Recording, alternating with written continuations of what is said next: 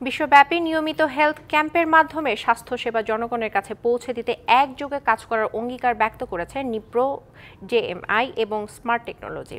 বুধবার বিকেলে রাজধানীর একটি হোটেলে প্রতিষ্ঠান দুটির মধ্যে সমঝোতা স্মারক চুক্তি সই হয়।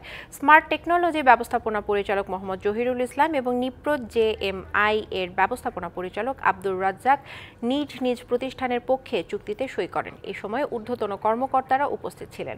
এই চুক্তির মধ্য দিয়ে দেশের সাধারণ মানুষের মাঝে বিনামূল্যে স্বাস্থ্য ও প্রযুক্তি সেবা দেয়া হবে।